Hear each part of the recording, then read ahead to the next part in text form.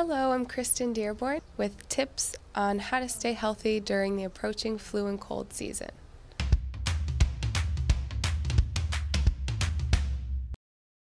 So, it's recommended to take amino acids while you're working out because it helps with protein synthesis and muscle recovery.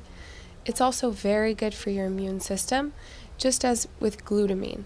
So, glutamine and the amino acids you can actually take together. You can put in about anywhere from 8 to 24 ounces of water, and you can get flavored or non flavored. I do use an extra scoop of glutamine when I'm feeling a little bit under the weather because it is known to help with gut health and immune health.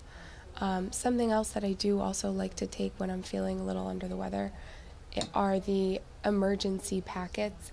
Um, they're quite popular now, and I love the um, fresh organic blueberries every morning with breakfast, especially this time of year, and every evening because I do suffer from allergies.